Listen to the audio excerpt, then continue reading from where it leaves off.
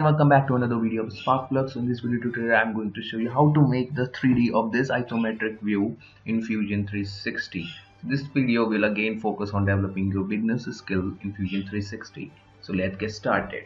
So let's start with the studying of the drawing. So as you can see this whole setup has been put on this rectangular base whose dimension is 175 by 50 mm and it's it's uh, 9 mm thick so what we have to do is we have to start by making the rectangular one and of course the hole and then we are going to make this uh, circular profile.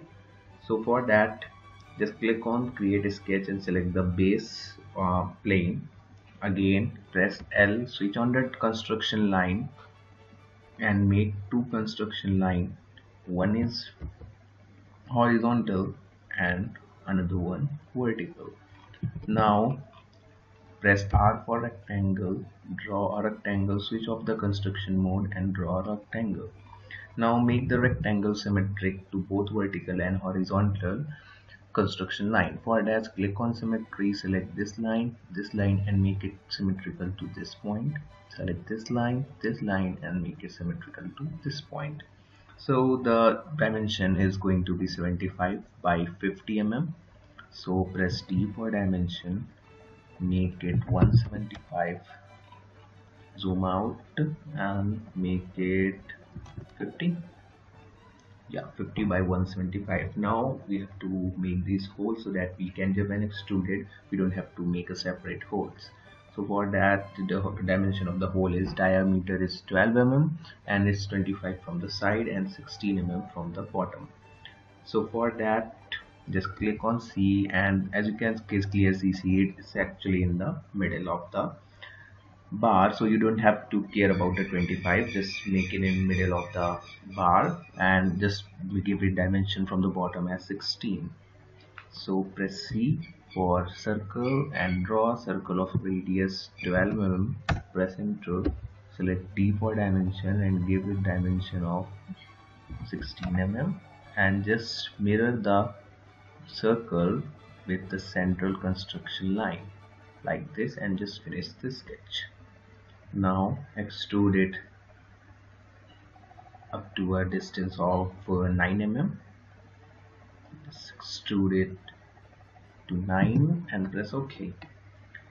Now what we have to do is we have to make this profile. This profile consists of a semi uh, circular extrusion and on top of that there is also another extrusion so what we have to do is we are going to make this one and then we are going to mirror it so that we don't have to make the another one. So we will start with making the uh, inner one with the 9 mm thickness. So for that what we have to do is uh, first of all just look at the the dia of the inner circle is 25 and the outer circles is 50 and from the bottom face it's actually the, dimension is given here 28 mm the center of the circle from the top of this face. And this whole profile lies in the center of this rectangle. So for that just click on this plane draw press L and draw L. Draw again draw a construction line in the center. Just like that if you don't know the center you can just make it symmetrical to this point this point point and like this. So again draw press C for circle switch off the construction mode draw two circle one is for outer and press D for dimension give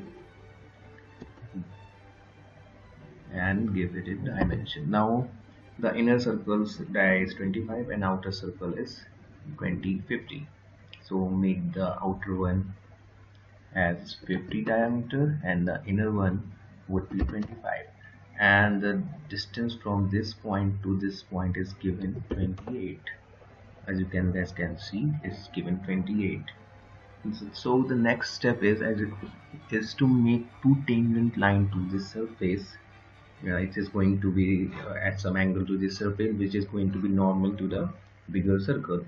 So the distance from the outer profile is given 32 so what we have to do is click a line and just draw any random line like this.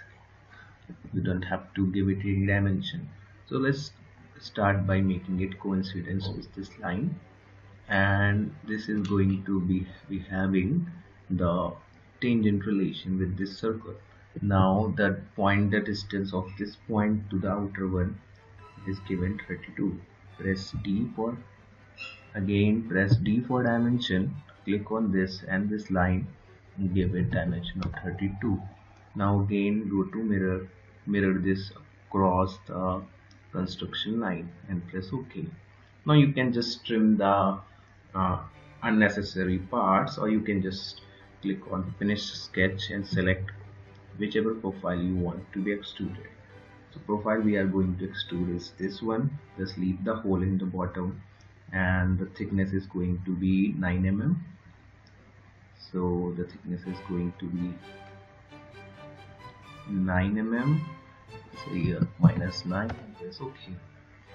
Once done what we have to do is we have to make another extrude uh, which is going to be say this is the thickness is 12 and this thickness is 9 to 12 minus 9 is equal to 3 so what we have to do is click on this face click on this circle.